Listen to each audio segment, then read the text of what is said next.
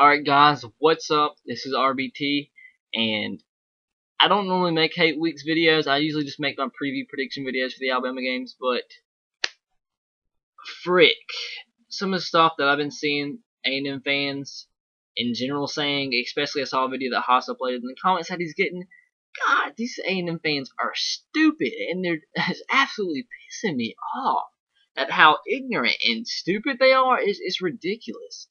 Um,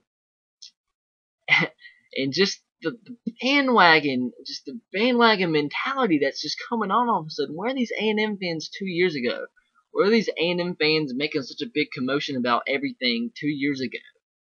They're all bandwagon fans. They came out of nowhere. Half the fans probably don't even know half the team because all they know is about Johnny Football, who is the biggest disgrace in football. He is the best player in football. That's that's uh, I mean, there's no doubt about it. He's the best overall not the best football player, but the best college football player, if you can get what I'm saying there. Makes plays, we all know that. Just the way, just, we all know what happened to him in the offseason. He's exposed. He's not a leader. He's, he just doesn't, I mean, you can't call him trash.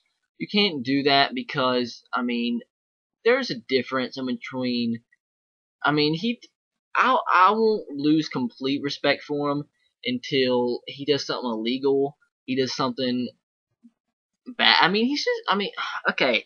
I'm trying not to contradict myself here. He's he's doing stupid things, but they're not. He's not going out and killing people. He's not going out there and um, driving under the influence. He's not doing horrible things, but he's just doing stupid things. And that shows that shows he, he's he's he doesn't know how to conduct himself in the right way. And if you're a quarterback that wants to go on to the NFL, you're a quarterback that wants to lead your team to the national championship. I mean, I know there's a difference between murdering somebody and doing what he's doing, but still, um, what he's just doing is stupid. I, I mean, haven't lost complete respect for him, but I mean, it's it's getting there. I mean, you can only have so many things that you do. It's just, it's just okay. We got the Johnny Manziel thing out of the way. Okay, I try not to try not to uh, trash too much there because there's been enough of that in the off season. I'm not gonna go there, but on the game, okay, I saw some comments on Haas's video because he made a comment saying that uh, who else do you have other than Johnny Manziel? I mean, I know I have to have some. They have some pretty good skill position players, but what they're saying, they have the best backfield in the country. Are you kidding me? That has to be the biggest joke I have seen this whole entire season thus far, saying Texas A&M has the best backfield in the country? You are kidding me. You that is a joke. Ben Malena is he's okay, but who else do they have? I'm sorry, I don't know Texas A&M second string running back and his everything about him. I'm pretty sure if they had the best backfield in the country, I would know something about him. I would you see me on here every week talking about football. I know a pretty good bit about football. And if Texas A&M had the, was even considered for the best backfield in the country, I would know something about it. And I don't. I'm sorry if you think Texas A&M has the best backfield in the country. There's something wrong with you. The offensive line top ten in the nation? No, no. Jake Matthews is the only, only lineman that is projected to be in the NFL. If you're going to be the best line in or top 10 line in the country, no, no. Uh, you lose the number two pick in the draft, your offensive line goes down just like that. Um, no. The only there's two wide receivers that are decent for A&M, Mike Evans and Ricky Seals-Jones, who's a freshman who I still believe has not proved himself yet. He has to prove himself before I consider him a good wide receiver. Mike Evans, okay, I'll give you that but those are the only two receivers that are decent. And you're throwing out all these these these hate hateful comments and calling people stupid because we believe there's only Johnny Manziel. You have some pretty you have some decent talent around him, but not as much as you did last season. And with the the loss to Luke Joeckel, that that's Joeckel, that's huge. Um, I mean, you have you have decent talent, but not near what you're making it out to be. The best backfield in the country, that is a joke. Okay, what wide receivers do you have behind Seals Jones and Mike Evans? Nobody noteworthy. And to be an elite team, you gotta have more than two noteworthy wide receivers. And they don't. And don't even get me started on that defense. I saw a comment saying that the defense is going to be one of the best in the country. We just have people suspended. No, that's about as ridiculous as the uh, the best running back, best backfield in the country comment. Okay, you do have how many people? Six. We had six start. They had six starters suspended for the uh, Rice game. And nonetheless, you should not be giving up that many points and looking that pathetic against Rice, even with six players miss missing. That's no, no. And then I believe you got two of those players back, and some of those players were only suspended for a half, so some of them came back, I believe, in the Rice game. And in the Sam Houston State game, Sam Houston State is an FCS school. Okay, I understand. Eh, At Sam Houston State, somebody will come on here and comment and say, "Oh, Sam Houston State, they compete in the FCS every season. They almost win the national championship in the FCS every season. That's that's why they scored so many points. And all we had suspensions. Who cares if they play in the FCS and compete every year? If you're competing for the FBS or believe you're competing and are relevant in the FBS level and competing for a national championship, you should not have to come up with excuses on why you gave up however many points you did the same Houston State. I believe it was more than a good bit more than 20. And even if you're so excited because you're getting all your players back, oh, just so so randomly on the same day you play the University of Alabama, the best team in the country, you get them back. This is their first live game of this season. You don't think they're going to struggle? Yes, they're going to struggle. Okay, I understand. Offensive line played horrible week one. That was a good against a good defense. Texas A&M does not have a good defense. Who on defense do you have that's projected to be a number one first round pick? I don't know anybody. I'm sorry if I'm too stupid and y'all are smart and know you have some guy that nobody else in the country's heard about that you you think since you're such a homer that they're gonna be a number one draft pick and you're gonna comment here trying to make me look stupid because I don't know who they are. Okay, I know that's gonna happen because that's what you trolls do. I'm sorry. Test 99% of the country and ask them if they know of one defensive player that's projected to be in the NFL draft next year for Texas A&M. I bet you 99% will say no, none. But yet, Texas A&M fans will come on here, the bandwagon fans they are, and comment and trash just because we don't know that player. And they there is none. There is no one player for A&M's defense that that's noteworthy at all. They the two defensive ends are gone. They were uh, draft or uh, first first second round picks last season, I believe. Damontre Moore and the other guy who they were good, but they're gone. They're gone. And I already mentioned about Johnny Manziel, but we game planned. We've we've been we've been eyeing this one particular player for almost a year now. I mean, you see what we do in national championship games and bowl games in general. Don't even bring up the Utah game. That is just stupid if you bring that up. Okay? You see what we do in national championship games when we have a month to prepare. We dominate completely. There's not been one national championship game that we have not dominated in aside from the first one, and that's because that was our worst team out of any of these by far. And give us almost a year to prepare for one player.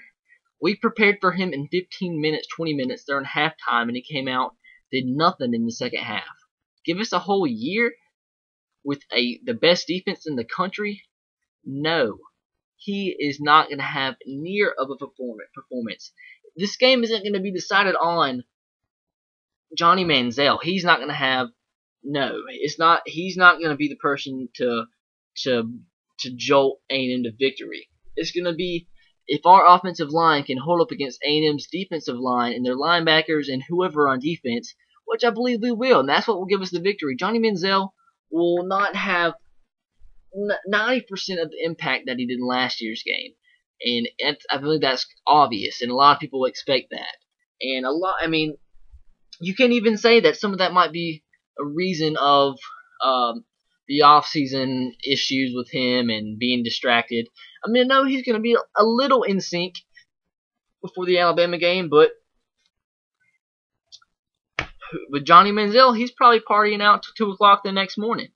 Uh, before the game. I mean, that's just how Johnny Manziel Manziel is, and that's where his leadership skills just go right down the drain because he's Johnny Manziel and he thinks he can do whatever he wants because Kevin Sumlin don't know how to to uh, discipline his own players. Um, with all due respect, I think Kevin Sumlin is a head coach and he's put in a horrible situation because I think it's really not. He doesn't really have his say so that he wants to. I think it was up to him alone. Manziel would have been suspended a long time ago, but with the authorities above, he kind of can't. But he's still the head coach, and if he thought it was absolutely necessary, he could do it if he wanted to. He could suspend Manziel, but he's not. He's not. And I think he, he knows it's the right thing to do. I mean, you have the nerve to have all the off-season talk about you, and I, and he plays it off like he doesn't want it, and then he comes the first game, finally getting to play back, and when he knows the spotlight's on him, he he knows 95% of the country is talk uh, watching him and going to talk about every little thing he does. And he does the stupid thing of the unsportsmanlike penalty, the uh, signing the autograph in midair. It's just so stupid decisions that correlate into a quarterback position that's the biggest, most important position on a football team. And you're not when you make stupid decisions, that translates into into your play. That translates into your play. And that's not going to fly. You're not going to be able to make any mistakes against our defense. And he's going to make mistakes. He's going to do something stupid. Our players are going to taunt him. That's we're going to do that. Our defense is probably going to do that on purpose, just to try to pull out a penalty, try to uh, break out something in them that will make him perform poorly, and that probably could happen. I mean, did you read the golf stories on him? He apparently he has anger management issues, and it's just I would not be doing this video if it wasn't for the stupid, idiotic bandwagon fans I've been seeing comment and hate on videos, and they don't see any of them making videos themselves. Um, and I know I'm going to get a lot of hate for this video, but I, I really don't care because it's all going to be ignorant A&M fans that have been fans for two years or a year and try to make me look stupid about one little fact that I said when 99% of the country doesn't know that either. And it's probably not even true, but just because they can type and try to make me look stupid, they're going to say it. That's just how the internet goes and how idiots go. So if you're an A&M fan out there and you're going to do that, go ahead because you're stupid and I think you're ignorant and just idiotic. And I cannot wait till everything I just said is completely 100% proven on Saturday because I believe full-heartedly that we're going to go out there and stomp A&M to the curb. The poor defense, the game plan for Manziel, the the playmakers that are not enough to overcome that offense, the defense of Alabama, they're nowhere. The playmakers are nowhere near, nowhere near what you're making them out to be. They're decent. They're good. Uh, Mike Evans is good. Jules Jones has a chance to be good. But get out of here with the best backfield in the country. No. Get out of here. That's stupid. Now that's just downright ignorant. okay, and I, I, I'm gonna try to find if there's anything else that some of the stupid comments. Top five receiving core in the country. Okay, I, I totally forgot about that. Are you kidding me?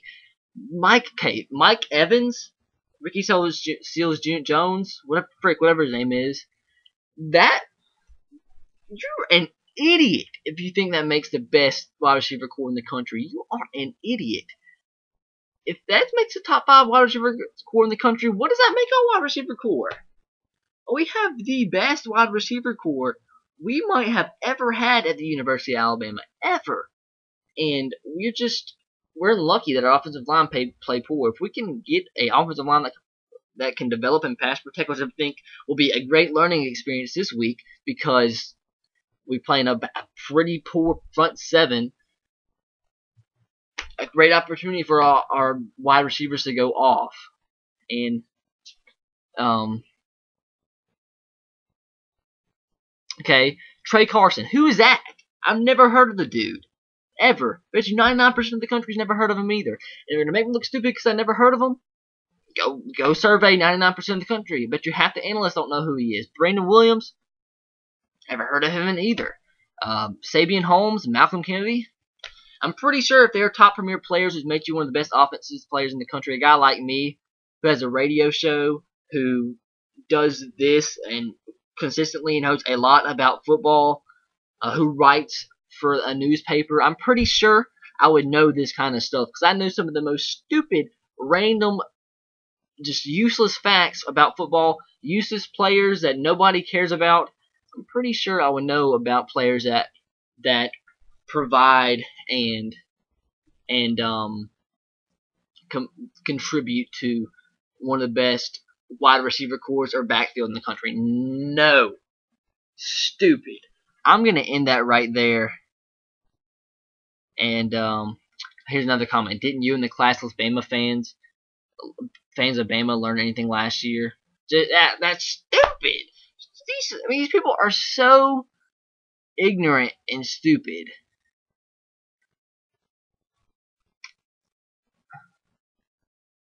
Anything else stupid? I don't even. Anything? Anything? Okay. That's it, guys. That's my hate. This is probably the only hate video I'm doing all year just because they, they sparked it. I mean, I'm, I know for a fact I'm going to get hate for this video. But you know what? Give me the views. Give me the money. I make money off my videos. If you want to hate, go ahead. Go ahead. I'm getting that cash. Appreciate it. Catch you guys later. Roll Tide to you. Can't wait till this weekend. Have a great day, guys. Peace.